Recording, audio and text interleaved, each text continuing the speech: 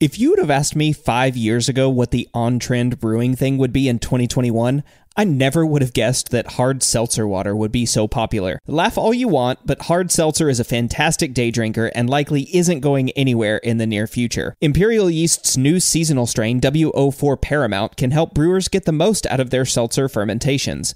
A clean and aggressive fermenter, Paramount will produce an excellent seltzer with low fusel alcohols and it's produced in a gluten free medium. If you've tried making seltzer with standard ale or lager strains, you know the struggle, and Imperial Yeast is here to help with WO4 for Paramount. Check it out at imperialyeast.com.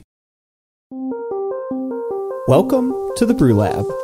The mashing process is one of the most important parts of brewing, and there are many different ways to conduct the mash with varying temperatures, rests at each temperature, and of course, changing the mixture or the malt bill of the underlying grains themselves. And from a fundamental level, you add water at a certain temperature, let it sit, rack off the sweet liquid, and the mash is done.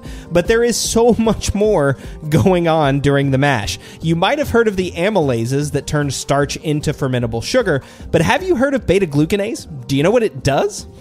I'm your host, Cade Jobe, and today in the lab I've got Sophie Held, who's formerly a student uh, at the University of California at Davis in Dr. Glen Fox's lab, and she's here to talk to us about work that she did looking at beta glucans, beta glucanase, and different mash regimes, and how those different mash regimes and malt bills might impact beta glucan concentration and beta glucanase activity. So first off, we've got to start by talking about what the heck are uh, beta glucans, uh, and then of course we'll talk talk about the enzyme that breaks down beta glucans, which is known as beta glucanase, and why brewers might care about either or both of those things. You ever heard of the stuck sparge? Ever had one? if you know, you know. Um, and beta glucans might have played a role with those stuck sparges. So Sophie wanted to understand how different mash regimes and malt bills might impact beta glucan concentration, wort viscosity, and beta glucanase enzyme activity. So she developed a method to look simultaneously at both beta glucan concentration and beta glucanase activity, which is a pretty cool aspect of the study. So she looked at the European Brewing Congress's so-called Congress mash, which is also, you know, commonly known as a step mash, versus the Institute of Brewing's single infusion mash, uh, which is more consistent with what most brewers are doing today, and also looked at caramel malt and simulated what it would be like to look to use under modified malts, all in hopes of understanding more about beta glucans and beta glucanase during the mash. So there's a lot that you should know and apply in your brewery, and I'm excited to talk to Sophie about it. But first, if you haven't yet clicked the button to become a patron, please consider doing so. In addition to the feel good vibes of helping to support the work we do here at Brülosophy, you get access to a bunch of awesome rewards depending on the different pledge levels that you choose. You can get access to Brülosophy contributor recipes that we've never before published, new discounts each month to YakimaValleyHops.com, who, by the way, originally developed a form of liquid extracts, the Hop Shots, which we just talked about on the last episode, uh, and for $3, access to a monthly live Q&A session with a special guest from the brewing industry. This month's guest is the head mead maker of Moonlight Meadery, Michael Fairbrother. Now, I haven't personally had the pleasure of trying a Moonlight mead, but they are constantly rated highly on the best in the business lists. And Michael has been making mead for a long time and he knows a thing or two about making it good. How do I get rid of that sulfury smell in my mead? What's the difference between Fermaid O and Fermaid K? What do you do? Uh, when do you add nutrients? Do you pasteurize your honey? These are all great questions to ask of Michael, and so I hope you'll take advantage of this great reward by becoming a patron of Brülosophy at patreon.com slash brulosophy. Thank you to everyone that's left a rating or review of the show. We're almost to 100 ratings on Apple Podcasts. I love reading your reviews. They're important for other listeners like you to find the show, and they also help us make sure we're bringing you the content that you want to listen to. So thank you to those that have rated or reviewed the show, and if you haven't yet, please do so. Feedback is brought to you by the imaginative crew at Haas, who developed a revolutionary way to dry hop using Spectrum, a flowable 100% hop derived product that's fully dispersible in cold side applications for great flavor, efficiency, and less beer loss.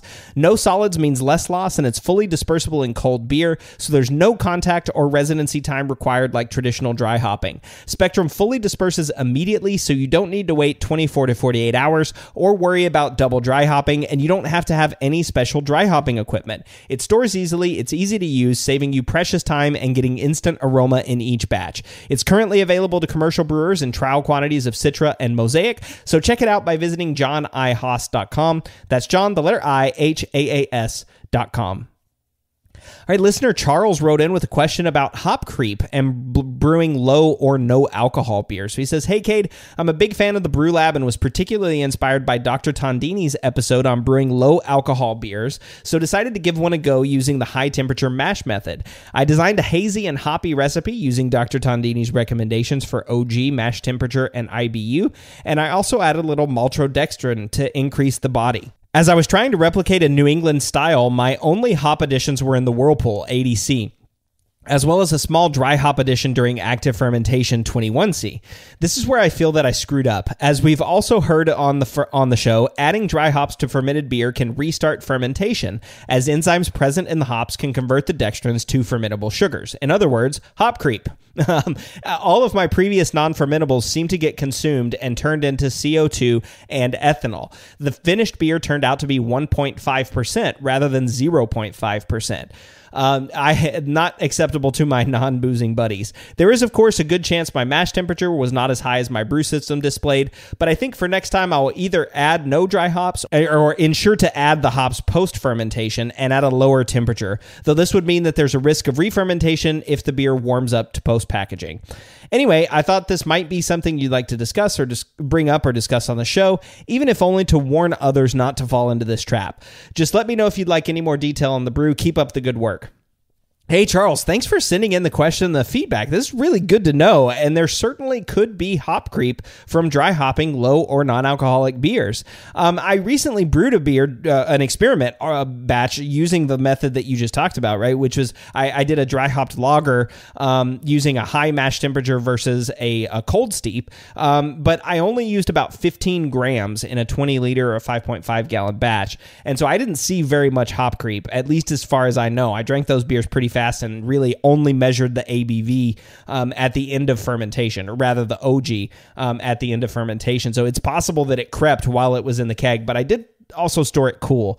Um, but very interesting to see that yours crept so much, right? Um, that's very possible to go from 0.5 to 1.5%. And something to think about if you're brewing non alcoholic beers, be careful um, of hop creep. Make sure that your beer is actually um, fermenting to full attenuation, uh, that you're storing those beers cold, uh, and that when you add those dry hops, that you're not increasing the alcohol concentration. So, yeah, thanks again for sending in this feedback. I'll be back in a few minutes with Sophie Held talking about beta glucans and beta glucanase with different mash regimes and malt bills.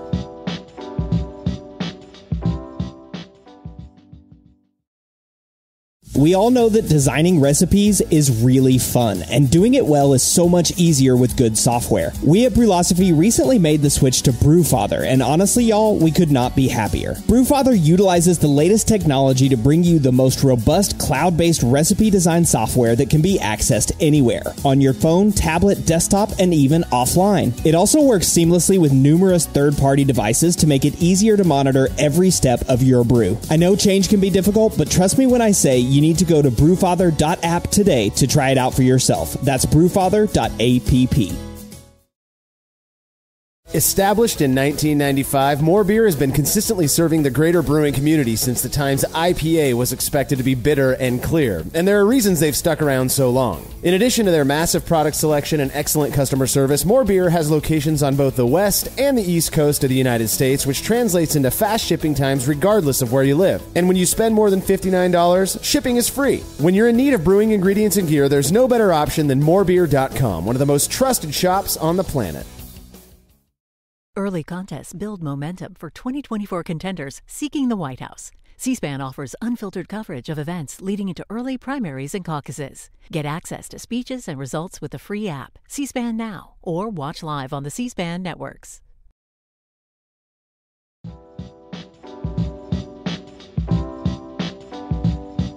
Mashing is the name for the process where the starch endosperm of the barley kernel is converted into fermentable sugars. It's an enzymatic process where enzymes like alpha and beta amylase work on long chain starch molecules and break them into fermentable chunks.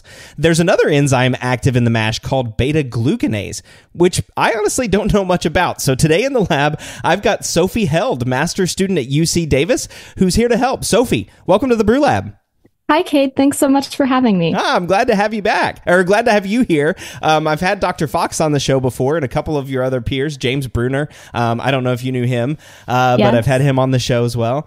Uh, and the only thing I know about beta glucans is that allegedly they're sticky. Um, and uh, I don't know, is that all there is to know? Are we done? I mean, I hope not. I mean, I think the, the best way to start conceptualizing beta glucans um, is they're famously in those heart healthy cereals. Um, ah. They're a big, long fiber molecule um, that nutritionists love for reducing cholesterol. Um, and what uh, gives those cereals their heart healthy benefit. Um, so, as much as they're positively sticky in our digestive system, um, in the brewing process, that stickiness can be more of a problem. Ah, I like it. I love that analogy, right? We want the the healthy things to stick in our body so that we can process them. um, but, but but we don't want them to stick in our uh, in our mash tuns. Very cool. Well, all right, let's talk a little bit about you then. So, again, you're a master student in Dr. Glen Fox's lab there at the University of California at Davis, um, and you have a BS in food science from the University of Minnesota Twin Cities. What made you want to study brewing science? Yeah, so uh, as an undergrad at University of Minnesota, I uh, started working in a cereal chemistry lab, and I got to look at really big molecules in cereal grains and how they affect the way that we use those grains. Um, so I was initially focused on proteins that make gluten.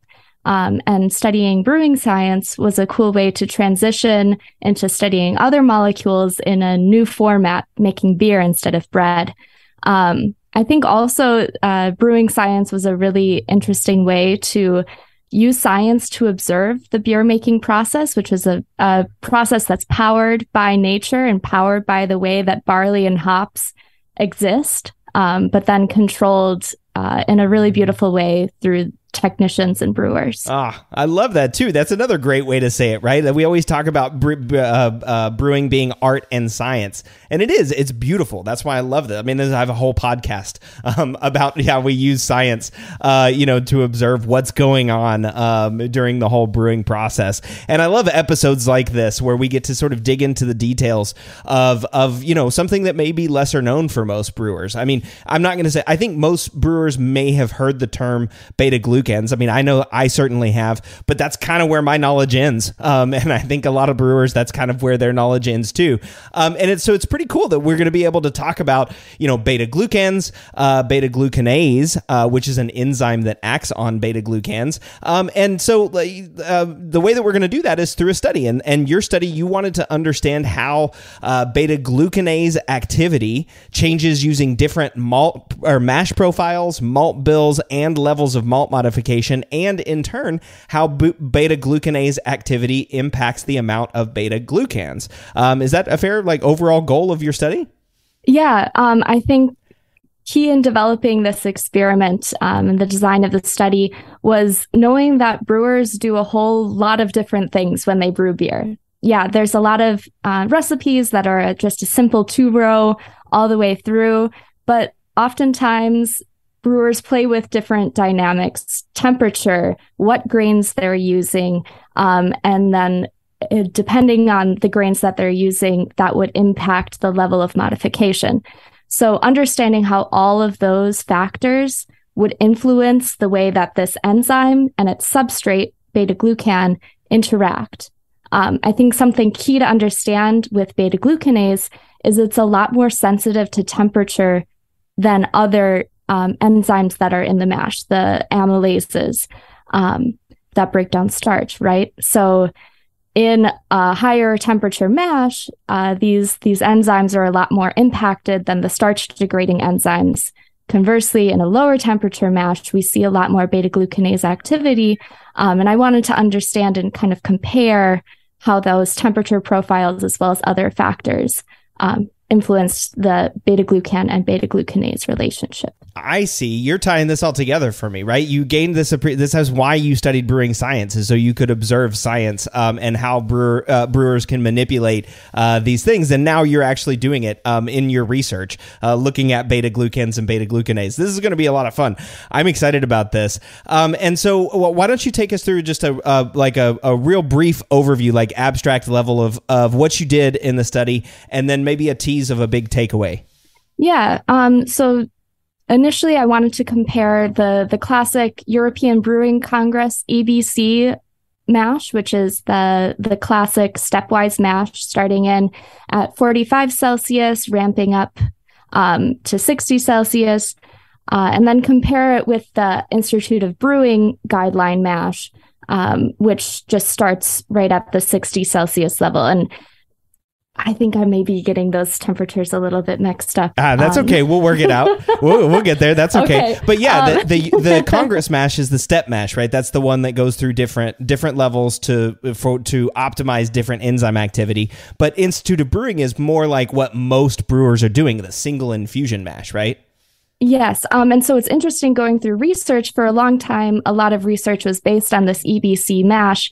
And now we're finding completely different findings uh, from the past because brewers are are using this higher temperature mash, um, and it affects how enzymes are active during the mashing process.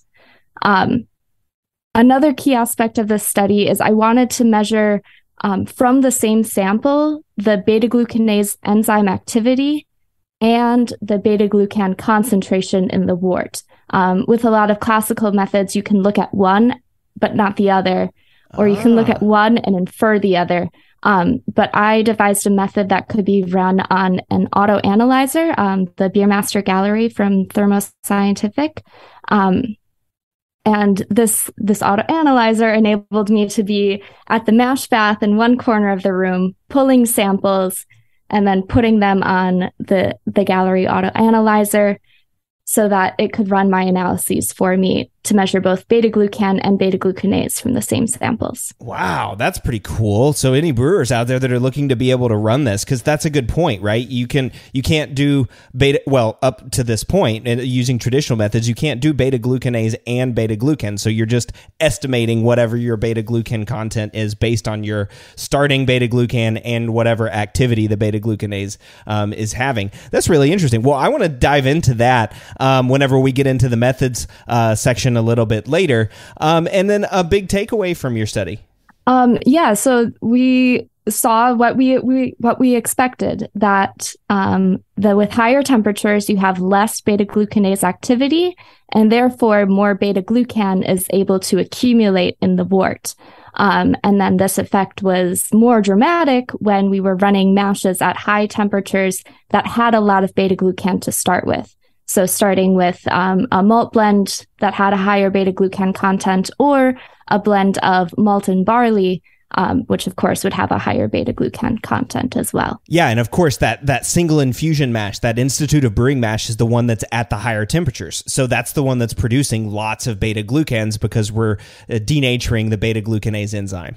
Correct. Yes. All right. Cool. Okay. All right. That's a good overview. We need to back it up a little bit because I think we need to talk about, um, you know, the mash process itself and then beta glucans, where they come from, and all that stuff. So let's go through that and let's, I guess, start with the mash. I'll ask this question. I think most people listening to the podcast are probably going to understand this, but I think you have to start here, right? What's going on during the mashing process? Yeah. So during the mashing process, you're taking malt, barley malt typically, um, and using the enzymes present in the malt to uh, transform the sugars from uh, transform starches into sugars that are fermentable by the yeast. Um, and so this is again this this beautiful process of brewing. We're taking an enzyme that's naturally present from the germination of a seed um, and using it to to make fermentable sugar to make beer. Um, just just fascinating. yeah. Um, the uh, so the the starch degrading enzymes are working on starches, but you also have proteinases that are working on protein. And of course, in the in this paper, we're focusing on the beta glucanases that break down beta glucan as well. Yeah. So where do the beta glucanases come in, and and and beta glucans? Are they also in that that enzyme package from the germinated barley? Yeah, so when um, maltsters germinate barley, um, they get the seeds wet um, to kind of stimulate that springtime sprouting process. Um, and it generates enzymes through the outer layers of of the barley barley shell, the barley kernel. Yeah, yeah. Um, and those enzymes migrate inwards. They first have to break down the um, fibrous cell wall layers that package the starch and protein inside them. Um, so beta glucans exist mainly in these these um, cell walls in the barley kernel. Um, and so it's like unwrapping a present. Like you first have to tear off the paper and then you can open the box and then you can look at what's inside the starches, the proteins.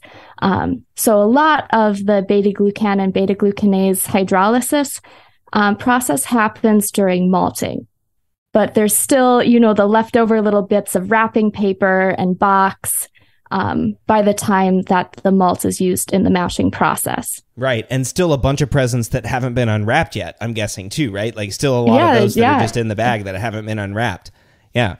Oh, okay. I love that analogy, right? I, I love that. So that's where beta glucans. So it's kind of like, it, it, yeah, like you said, it's like you've got a whole bag full of presents, and you want what's in the presents. So you've got to rip all the wrapping paper out. You got to take them out, rip all the wrapping paper, you know, open them up, um, and then get to the present, get to uh, the present itself. So then, beta glucanases are are are, um, I mean, I guess they're present, right? They're, they're endogenous to the the the malt, um, and so there's most most of you said most of the beta glucanase is going to happen during the malting uh, process. Is there also beta glucanase that's going on during the mash? I'm guessing the answer is yes. yes, yes. So beta glucanase is able to survive the kilning process um, in a large enough fraction to be present at the time of mash in. Um, from there, the temperature of the mash dictates how quickly that enzyme will denature. Um, so when enzymes heat up, they're unable to hold their active form, they're unable to do their work um, and become denatured, become inactive. Um, so throughout that that mashing process, enzymes are are fighting to stay in their active form. Um, and that impacts how much of the remaining wrapping paper the remaining beta glucan is able to be um, digested or uh, clipped up by this enzyme. Okay, so then if I it, it, makes sense to me, like looking at like the starches, right? I understand we want to break we want amylases to break apart the starches and turn those into fermentable sugars that the yeast can consume.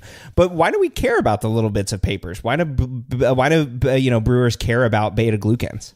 Yeah, so um, beta glucans they um, by nature they can ab- absorb a lot of water. Um, and this is what we were referring to earlier as them being sticky. Um, and this can show up in a lauter process or a mash filtration process where the beta glucan holds on to to the liquor holds on to the wort um, and it slows your runoff slows your filtration. Um, some people have reported that excess beta glucan that makes it through to the wort. Um, so some some beta glucan can be soluble in um, soluble in the wort, uh, but when the temperatures cool down, it'll fall out of solution um, and become an unwanted haze, not the really stable ah. protein haze that people are after in their New England IPAs. Um, it can also form weird gels at the bottom of fermenters or barrels um, as it's falling out of solution. Um, yeah, I, that makes sense, right? I I I love this paper analogy too because I'm thinking like, oh yeah, there's if there's little bits of paper in my beer, it's going to be hazy, right? And and yeah, and no like, one wants that, sticky and gross, and I just don't want that uh, that in my beer. Um, but that that the the point that you mentioned about it, it like being sticky, right? That that uh, it collects water well or it sticks to the wort, um, um, or the liquor and slows runoff and slows filtration. That's the thing that I've heard the most um, about beta glucans? I always hear uh, brewers talking about like stuck sparges and things like that, right? Yeah, and there's a lot of factors that can cause a stuck sparge. Um, you know, just how tightly packed your grain bed is from your your grist particle size. Um, if there's any undigested starches that has a very large impact on a, on a stuck sparge. But of course beta glucan can be a factor as well. Yeah and i guess that that touches a little bit on my next question. I was going to ask how do brewers mitigate these problems right? I mean if malted barley has um, you know, all endosperm have these beta glucans that they've got to unwrap to get to the starches and sugars. That sounds like a problem that we're always going to have in beer. So, how do brewers mitigate that problem? Yeah, so uh, most brewers um, rely on having good quality malt from maltsters, and maltsters rely on having good quality barley from um, barley growers. Uh, so the the amount of beta glucan in barley is one of the the factors that determines is it feed grade or malting grade. Um, and then it goes on to the malt process where the level of beta glucan is further broken down. Um, and then finally in the brew house, if folks are using a blend of grains that would increase the beta glucan content, um, the uh, the brewers would likely add some exogenous enzyme, so that's enzyme that's coming from outside of the barley kernel. Um, and there's a lot of commercial enzyme blends that would help to break down beta glucan as well. Yeah, and, and it's interesting because I always think about malting process as like priming the grain, right? It's sort of like getting it ready uh, for the brewer. And so it sounds like that's a little bit of what's happening. Like during the malting process, they're priming by uh, allowing beta glucanase to do its job and break up these beta glucans. Um, and and I guess that's another interesting question is is this idea of modification, right? This mo- the modification of the malt. That's one of those things I always think about when I think of like priming uh, the the the barley kernel uh, to be ready to brew uh, during the malt malt process. So, what is there a relationship between like modification and beta glucans or, or beta glucanase? Yeah, so usually when folks talk about modification, um, they'll use Kolbach index as a, a, way to to kind of describe that, and so that's the ratio of uh, soluble protein to uh, full protein in the kernel. Um, so in the malting process, again that package analogy like if we think of beta glucan as the wrapping paper maybe the protein is the box underneath um, so of course, as as the one is getting ripped up, the other is also starting to be worked on. Um, so we can we can see a parallel between Kolbach index and um, beta glucan degradation or uh, digestion. Um, but usually when people talk about modification they're focused on that that protein box surrounding the starch present. I see. And so then i guess if a malt is well modified or like or or under modified then i guess what would be how would the beta glucanase activity change in those situations? Yeah. So um, generally during the malting process uh, the the beta glucanase is generated by around day three um, of malting. And so there's still the same amount of beta glucanase, but perhaps it hasn't had as as much time to work, or it's working on a larger quantity of of beta glucan.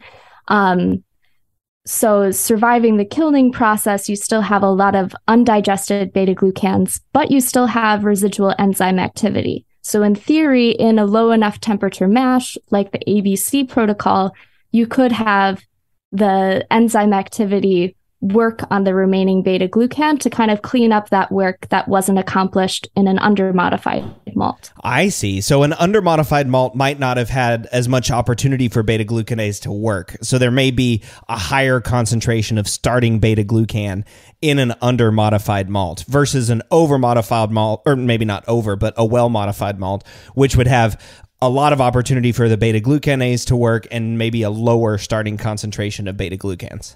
Correct. Yes. I see. Okay, interesting. So this, so all right, I'm starting to understand then, like the reason why you structured uh, your study the way you did, because you've got you're looking at the mash regime itself, um, right? Which which um, I well, we need to spend some time talking about that, right? um, how might the different uh, mash regimes? I mean, we mentioned the Congress mash versus the single infusion mash. How might those mash regimes impact uh, beta glucan or beta glucanase levels? Yes. Um, so in a malt or a grist bill that has some level of beta glucan present, um, we would hope that the residual beta glucanase activity in the malt could help clean up some of that, mop it up so it doesn't end up in our wort. Um, so in the Congress mash, we start at 45 Celsius, um, and I have the numbers up in front of me Perfect, now, yeah. so I can be sure. I knew we'd Uh, get there. um, it start at 45 degrees Celsius. So this is still a little higher than what the beta glucanase enzyme would like. It kind of likes to ride at maybe more 38 Celsius, but um, nonetheless, it's still able to have enough activity that through the initial um, stage of the mashing process, um, 30 minutes at 45 Celsius, there's enough enzyme activity to mop up the remaining beta glucan. Um, then, of course, as the mash ramps up um, to the next phase, at 70 Celsius, we see that enzyme activity decrease. Um, and if there's any um, any still residual beta glucan in in the in the grist, we would see that start to climb at that point too, because there's no beta glucanase to digest it. Conversely, looking at an IOB mash um, that starts at 65 Celsius, the glucanase prefers 38 Celsius. This is, you know, too much hot water. yeah, it's almost Um, double, right? it's- it simply cannot. yeah. yeah, it just can't do it. Um, and we see enzyme activity rapidly decrease, um, and in turn, beta glucan accumulation in the wort and the liquid fraction rapidly increase. Um, and that's only exacerbated if we start out with a lot of beta glucan in the malt bill. Yeah, so tying those two things together, right? If we're starting with under modified malt that has a lot of beta glucan, um, and and you know maybe potentially a lot of potential beta glucanase, if you're throwing that into the IOB or like the single infusion mash, like most brewers, which are pitching at 65 and that's somewhere around 150 uh, Fahrenheit, um, you know you're pitching straight into there. You're just denaturing all those enzymes, so all that beta glucanase from those under modified malts is going to going to transfer into your wort. Yeah, the, the beta glucanase is, you could say, negligible in Yeah. those types of conditions. Yeah. Well, and it's interesting too because you mentioned this in your paper, and this is kind of a key point, right? The EBC method is how maltsters are measuring it, and it's how it, that's it's how they're measuring this malt quality component, right? They're using the EBC um, Congress mash to do this, but then brewers are doing something totally different with it. Yeah, there's there's a bit of a disconnect, um, and uh, the EBC number will give you a ballpark, um, but it's not going to be predictive of what your final wort beta glucan will look like as a brewer. Right. And and I guess I should also mention here too, right? There's a really good reason why maltsters are doing that, uh, the EBC number. For it's because for a very very long time most brewers were brewing that way, doing a protein rest, a stepwise mash, you know, all the way up. I mean, German brewers and and big macro brewers have been doing that for a really long time. Um, so it's not unreasonable to for the maltsters to use this as their quality metric. Uh, but it's interesting that studies like this, and I think um, Dr. Fox has done a couple of other studies too, which have sort of raised questions about whether this EBC mash is useful for predicting these things like beta glucanase. And you know, this study as well, um, you know, makes some, uh, you- uh, you know, I mean, I guess may may weigh into that a little bit. How well does the EBC mash predict uh, beta glucan and beta glucanase activity um, versus uh, the IOB when more brewers are doing the IOB method, the single infusion mash. Um, so why don't you take us through, like, walk us through, introduce the study a little bit. Um, you know, m- like mainly in terms of like what parameters you decided to look at and how you uh, studied those. And then we'll take a break and get back into like methods and and also the results. Yeah. Um, so designing this study, I looked at three different parameters. So the first is that mash regime. So the temperature profile that I was going to mash these these uh, grains under. I chose a modified IOB method from an Evans paper, and then a uh, an EBC method um, to compare the stepwise mash versus the single infusion mash. The next parameter was the level of malt modification. Um, so I couldn't access uh, easily a an undermodified malt. Sure. Um, So what I did to approximate this was combining um, a fully modified two row or pilsner malt with 10% or 20% barley. Um, so that would increase the the beta glucan content because it hasn't had a chance to start like again the analogy of unwrapping that present um, I think to note there, it would also have a lot of starch and protein molecules uh, that haven't been undegraded too, uh, which is one limitation um, to using this method. But um, the third parameter uh, was modifying or not modifying. A better word would be to to change the malt bill, so including um, caramel malt um, and as well as comparing the Pilsner based malt with the two row malt um, and having this unmalted barley condition. Yeah, because um, that's something that was interesting. I, I learned from your study is like looking at the people who have done the research on beta glucans are generally just looking at you know um, a, a, a pilsner malt beer, right? And they're doing all of their research or whatever modifications that they're making in their research. It's basically just that same, you know, Pilsner malt uh, beer. But you identified that, hey, there may be some differences between Pilsner malt and two row malt. And then what if we throw in, uh, you know, some specialty malts like caramel malt um, uh, and under modified malt, you know, uh, the, so that we can better understand you know, what really is happening to beta glucanase uh, in the malt, right?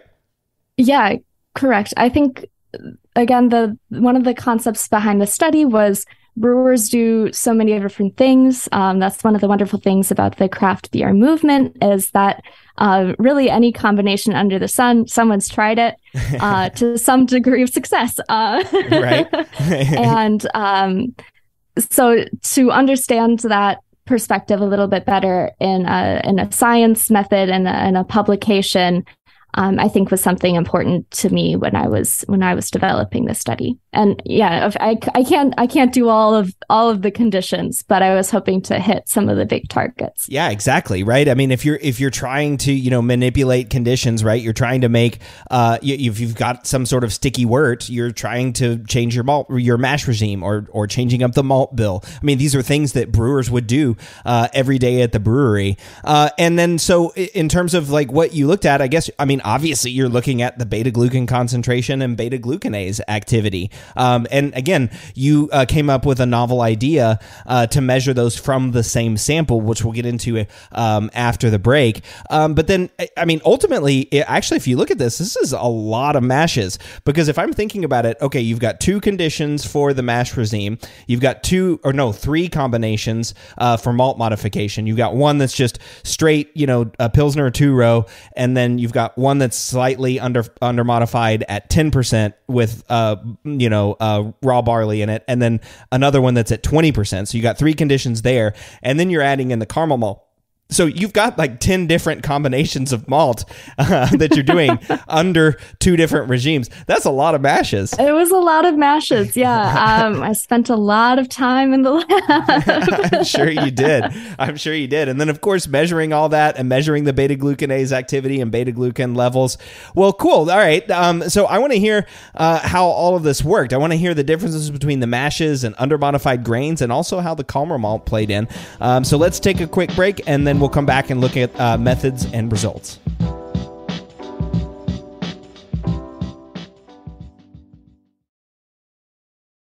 One of the biggest improvements to my brewing practices was the upgrade to stainless steel, and Delta Brewing Systems offers some of the lowest prices on high quality stainless gear, like the FermTank, which holds 8 gallons or 30 liters of wort, comes with a domed lid to reduce the chances of a messy blow off, and it can hold up to 4 psi of pressure. Delta Brewing Systems also has their own line of brew kettles, as well as one of the lowest priced all in one electric brew systems out there, and their prices are remarkably affordable. If you're in the market for legit stainless gear, that won't break the bank, you've got to check out deltabrewingsystems.com.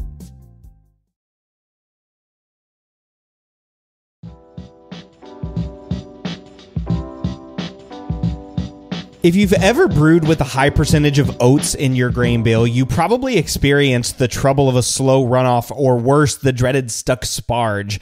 Um, this is likely at least partially due to a high beta glucan concentration in the wort. And Sophie, I want to ask you if in your trials uh, you had any difficulties with sparging. But first, you let me know during the break, I actually introduced you as a master student uh, at Dr. Fox's lab, but you have graduated. Um, so congratulations congratulations, uh, you made it through and you've now graduated.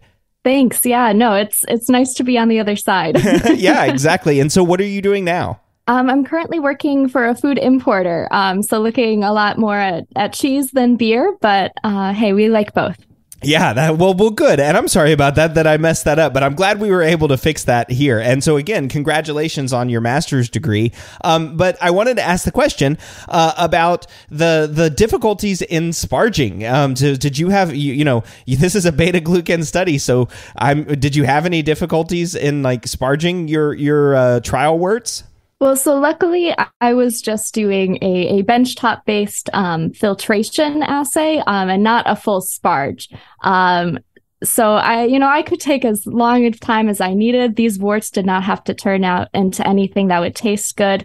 But uh, that being said, it did take quite a long time, and it, kept me in uh, in the lab a little later some nights than I would have liked. I can totally imagine. I having uh, seen a couple of those done here at Oregon State too. I can I, I can tell you, yeah, letting that mash drip out and filter takes a long time to, to, to do.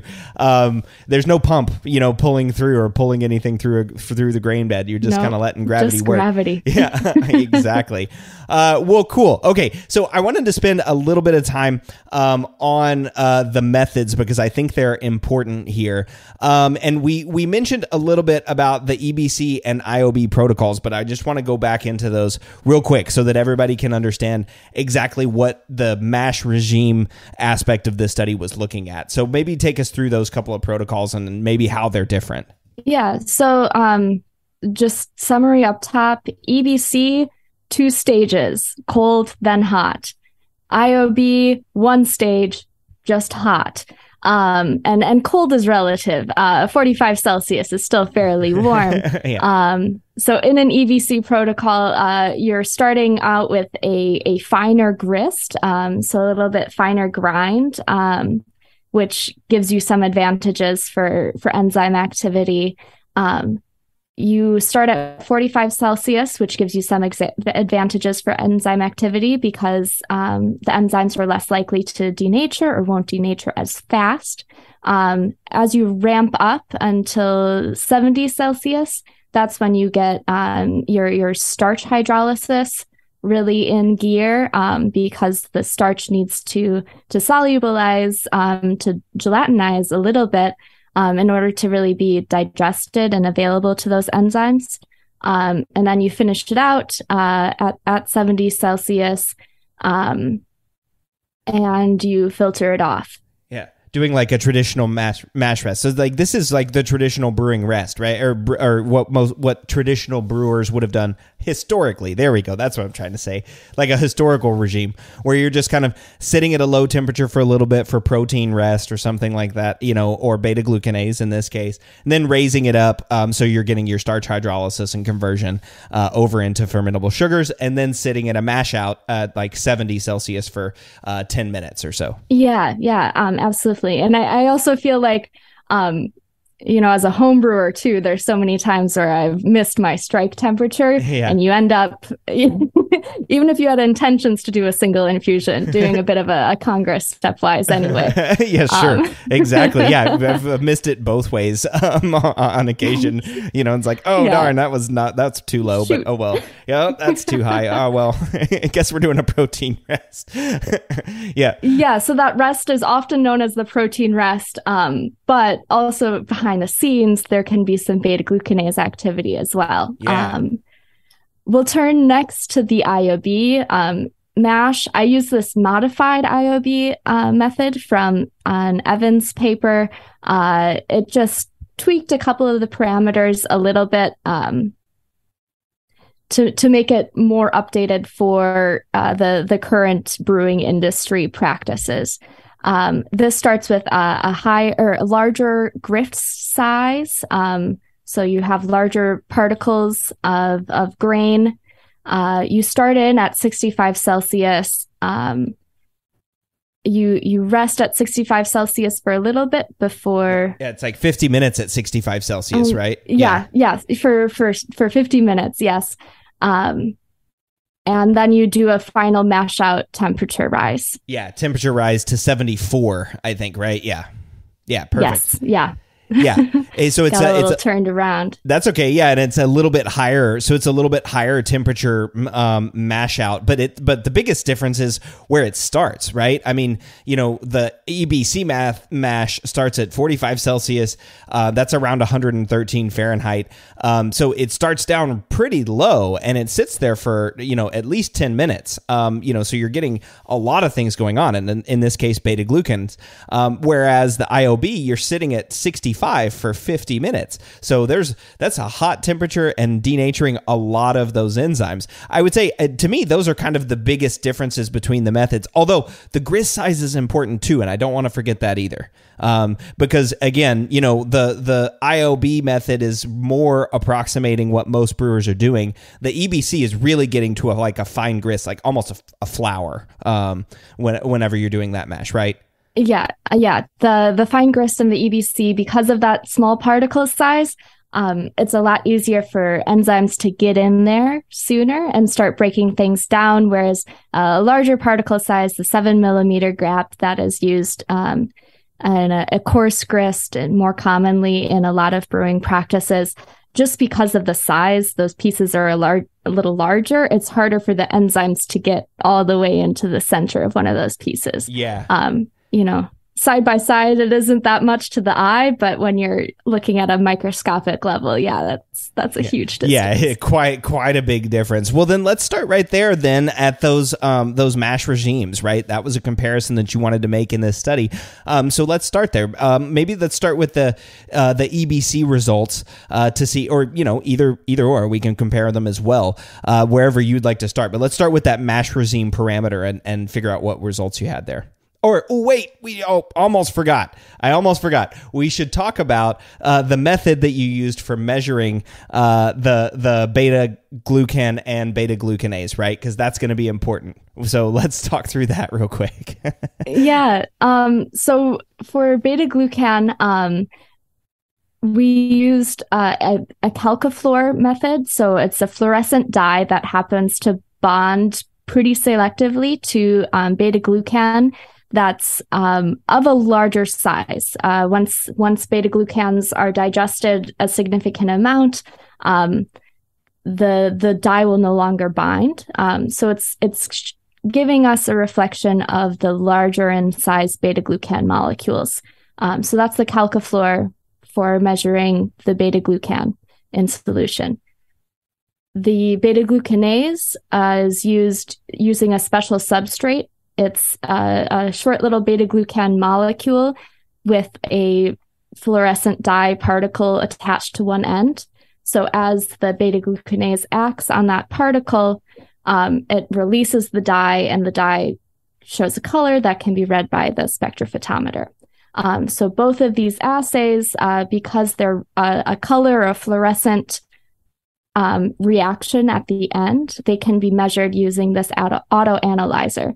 Um, so the auto analyzer is doing all of the pipetting, um, all of the incubation, timing, and then finally the the color absorbance reading at the end. Um, wow. So it's part of what made this uh, process possible is I could be standing at the mash bath for all of those mashes of all the different con- conditions while the auto analyzer was running in the background pipetting my samples and measuring both beta glucan and beta glucanase. Gosh, yeah, it just it, it totally just clicked for me whenever you said the amount of work that this would have been if not for that auto analyzer, right? Because I'm just thinking about like with enzymes activity, you can't let those samples sit because the enzymes activity is going to change. So you have to measure it as soon as you pull it off of the mash. And if you're doing that for all of these different conditions and having to hand pipette and hand and uh, you know measure on the spectrophotometer you know uh, take all of your samples and all the glassware and all that stuff.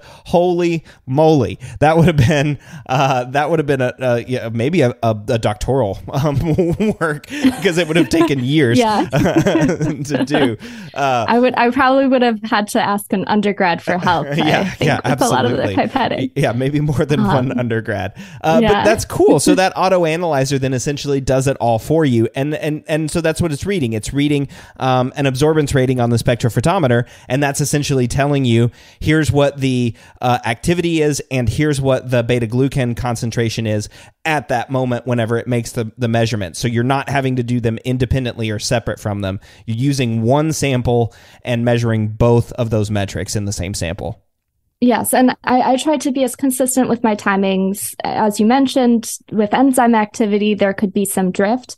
Um, so I try to be consistent. Um, however, I, I will acknowledge that you know there's always the potential for for a little drift in activity or the the beta glucan in, in solution. Sure, sure, of course, right? Uh, yeah, there's always a little bit of uh, uh, of that kind of thing in every in every study. Okay, we nerded out on the uh, assay there for a little bit, um, and I, I, think yeah, hopefully, I'm sure there were some people that just rolled their eyes, but I'm sure there were also a bunch of people that are listening to the show that just went like, "Oh, that's super cool! I love that." Um, um, so cool. All right, let's get in the results then. So we were talking about the two mash regimes. Um, so EBC um, and IOB. Uh, so why don't we start there with those results, or maybe the EBC results?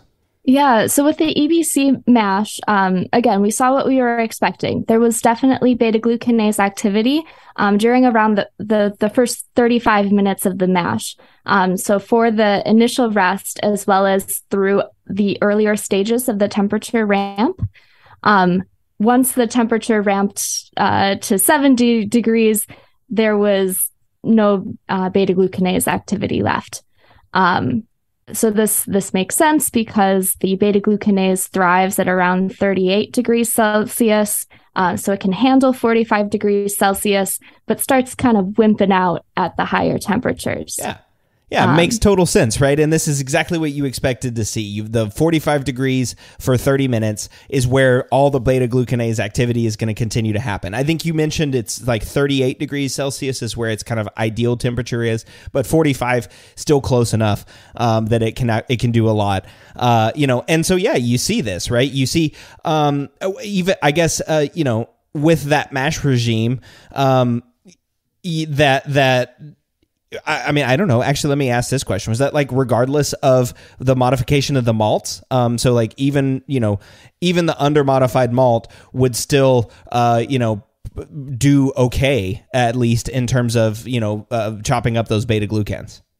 Yeah, um, because of um, this is another opportunity to nerd out, uh, but uh, taking folks back to their biochemistry, Michaelis Menten kinetics, the concentration of enzyme can be very, very small to still have an effect on the amount of substrate.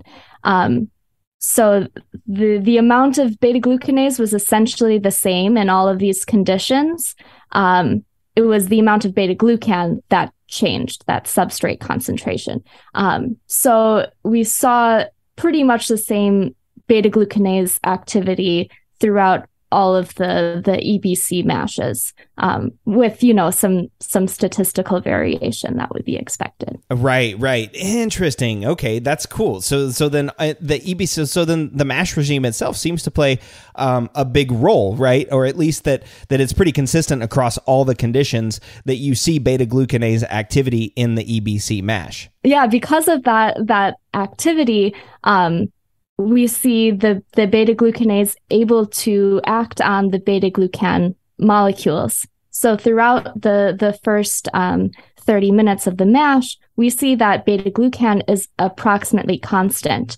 Um, and I interpret this as at about the same rate that beta glucan is able to um, enter solution. Uh, so to go from like a rigid solid carbohydrate to one that's hydrated and a little bit um, more active in the water and able to be digested by beta glucanase.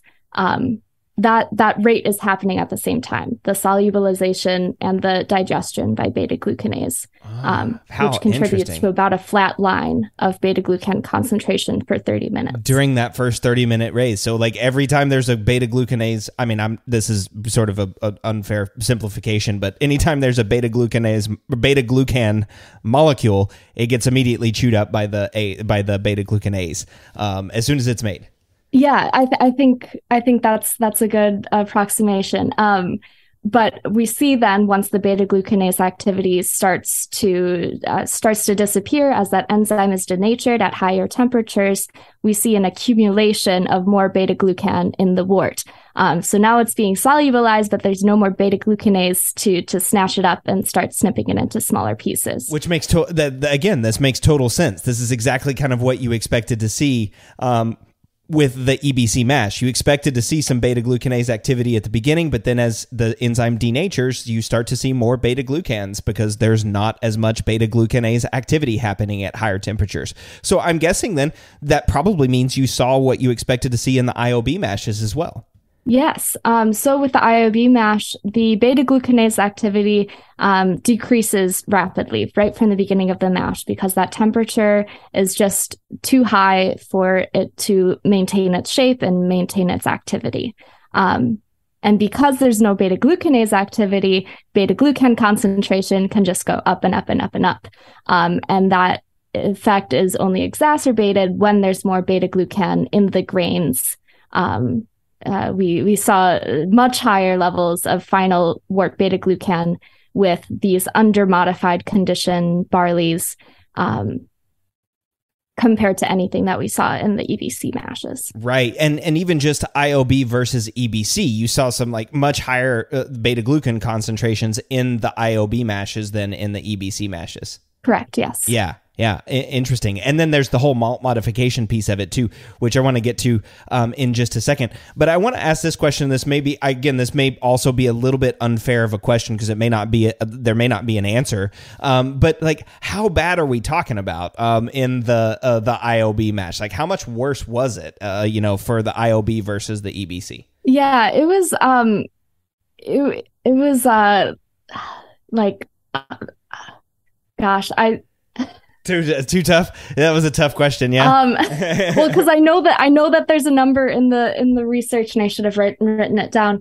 Um, it's like a hundredfold greater, right? It, Wow. It's completely completely another conversation. Um, how much more glucan there is in an under modified IOB mash compared to an under my modified EBC mash.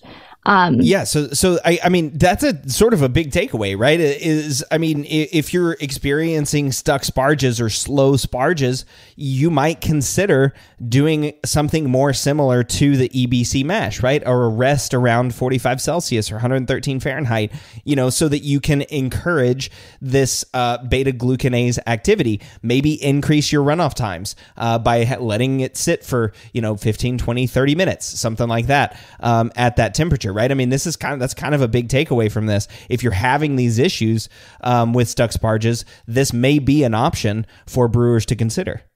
Yeah, absolutely. I think temperature is uh, a key factor in controlling the amount of beta glucan you end up in. Uh, you end up with in, in your wort um, when the the barley and the malt uh, aren't aren't quite at the same level of quality as typical. Yeah, and you know, I mean, there's been a lot of conversation about you know malt quality, um, you know, and how malt quality is decreasing. I don't know if that means that there's higher concentrations of beta glucans. Um, you know, that's not really inside, you know, something that you or I have in in our purview. But I've heard comments about that, and so that makes this is kind of this is again this interesting research to think about. Uh, you know improving maybe uh, uh, or, or reducing haze um, you know could be an issue too. If you've got some of this unwanted haze maybe you need to spend some time um, at a lower temperature uh, before just doing the one single infusion mash you know at 65 celsius 150 fahrenheit uh, or 155 fahrenheit. Um, you know that's pretty cool. And but then there's another piece of this too the the it's the malt condition itself like under modified versus well modified uh you know and the pilsner malt and the caramel malt. So talk to us about those results a little bit Yeah, um, so we saw that with uh, the addition of Pilsner and caramel malts, there was an increase in the amount of beta glucans contributed. Um, and so this is in part because the caramel malt tends to be a little less modified. Um, and the kilning process is different, so it's not contributing any beta glucanase. Um, however, these results um, weren't the most statistically significant. So um, when compared with a, a, a test of difference, a, a t-test, um, there were some differences. However, um, it pales in comparison to the differences seen between the the under modified condition with the the 10 and 20% barley compared to the all malt conditions.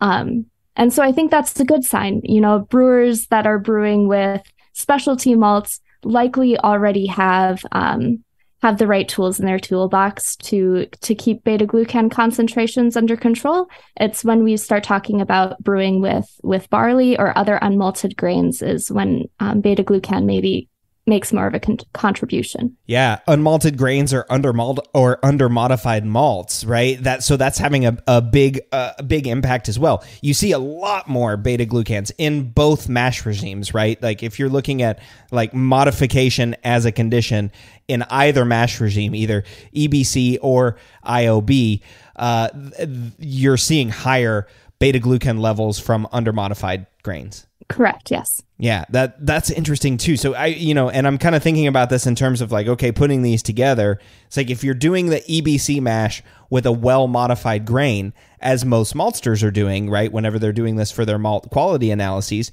they're not seeing a lot of beta, or maybe they're seeing less beta glucan than a brewer might see if they're using the IOB method. And then if a brewer is using the IOB method with an under modified grain, you're going to see a lot of uh, uh, uh, beta glucan. Yeah, so there's there's lots of little con- uh, different conditions that can compound and multiply um, over over kind of that that flow chart of all the different decisions you can make in your brewing process. Um, so I think yeah, temperature control is, is a tool that brewers have. Um, in this study, we haven't talked a lot about, but those exogenous enzymes are really handy. Um, and uh, with with climate change um, and other pressures uh, affecting the the global supply chain, um, sometimes you're not going to get the malt you want. And so, being able to think about temperature, think about uh, types of grains, think about exogenous enzymes are all good tools to have in the toolkit. Yeah, all of those things. And there was one other aspect of your study that caught me sort of by surprise too. And you you looked at wort viscosity um, as well as compared to beta glucans. Let's spend a couple of minutes on that before we wrap things up. Yeah, so with with beta glucan research, um, there's always been kind of a kind of a discussion of how impactful are the beta glucans compared to all of the other uh, molecules, proteins, starches in in beer and wort. Um, so I wanted to measure viscosity as well as evaluate the um, the filtration efficiency of of my mashes. Um, the method I used to measure viscosity did not have a, a strong relationship between beta glucan concentration and viscosity. Um, and so part of that is that um, beta glucan isn't the main driver for, for viscosity in wort. A lot of it is um, sugar and dextrin concentration, um, which is not a, a factor that I measured in this study. Yeah, interesting. So th- that one, that one is again, I was it surprised me a little bit, but I think it's explainable, right? I was, I because again, my th- my understanding of beta glucans is ah oh, sticky, sticky wort, right? And that's that's the relationship. Higher beta glucans means stuck sparge. Oh, you know. Um, but in this case, it wasn't really a viscosity issue, right? I mean, it wasn't like the the wort itself or that the liquid itself was too viscous. Um, you know, maybe those those um the grains are sticking together in other other ways. But like you said, there are other uh, other compounds in solution, like dextrins and sugars and stuff that are in there that are also sticky as well. Yes, yeah. So I did I did observe some samples that had higher viscosity, some samples that had lower, but they were all well within the parameters for what we would consider typical for wort um, compared with other studies. Um, one area that I did see um, more obvious uh, uh, more obvious differences with the level of beta glucan was when I was evaluating my my mash filtration. Um, so the samples that had the undermodified um, condition took a lot longer uh, to to filter. The undermodified and IOB condition took a lot longer to filter than the other samples. Yeah, so something's going on, right? Something is happening. Those samples took longer to filter, so something is something is is uh, uh, having an impact there. It may not be beta glucans, it may be something else, but something is certainly uh, causing an issue with undermodified malts and that uh, that uh, the IOB method with the high starting temperature, the high 65 Celsius starting temperature. Yes, yeah. Um, I think yeah, the these these ending um, tests on viscosity and filtration were were more of a way to check to see if there was an obvious pattern. Um, I think yeah, beta glucan might be a factor, um, but there's a lot else going on with the the wort matrix uh, that likely explains these these findings. Yeah, exactly. So so then some big summaries from this research, right? There's really cool stuff that came out of this. The the the mash profile, the mash regime itself uh, plays a pretty big role, right? At least comparing the EBC method versus this modified IOB method that you used in this study. Um, it's but like mash regime changing the temperature of the mash will change the beta glucan concentration. Yeah, temperature affects enzymes, affects the the fiber, the beta glucan. Um, and this is what we expected to see and and we saw it play out. Yeah and then of course the the modification level of the grains under modified or brewing like you said with ingredients that have um, higher starting beta glucan levels uh, you know like under modified malts or barley or you know oats or, or things like that that have higher beta glucans that is actually going to change the beta glucanase activity and the ultimate concentration of beta glucan that's in the wort regardless of the mash regime, right? It's just going to be if you're using those sorts of ingredients, there's going to be higher beta glucan concentration in the wort, at least according to this study. Yeah, yeah. You start with more, you end up with more, um, and that's compounded when you don't have any enzyme activity available. Yeah, like when you're using that higher mash. So it's pretty cool. Like this is fun. I I, I see that there's it, it is interesting too because this is a lot of things. This is a scientific result showing a lot of anecdotal uh, uh, solutions that brewers have whenever they have these issues. Right when they have stuck sparges, they either they maybe do a, a, a protein rest or a lower temperature rest, or they uh, might increase you know the amount of water uh, in in solution so that there's you know more more water um, and and uh, things don't aren't as sticky. Or uh, you know again they, they might use different grains uh, like a Pilsner malt or, or a two row instead of something that's under modified or oats or anything. This is really interesting to me. Uh, and, and I see why you did this study, right? It's like looking at what brewers are really doing whenever they're thinking about uh, beta glucanase. And we talked about a whole bunch of uh, uh, things in this episode about beta glucans. But if you want brewers to take away just one thing from today's episode, what would that be?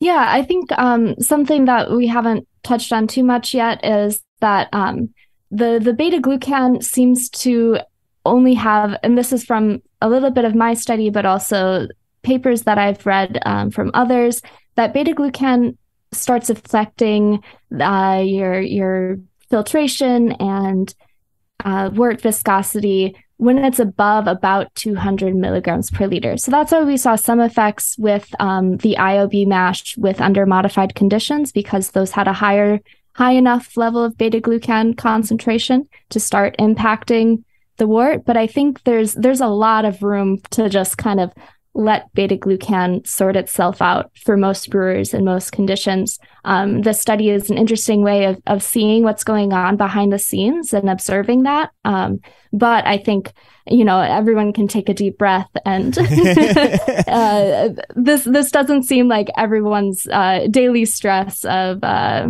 what to do about beta glucans. Um, but I think it is interesting to to think about.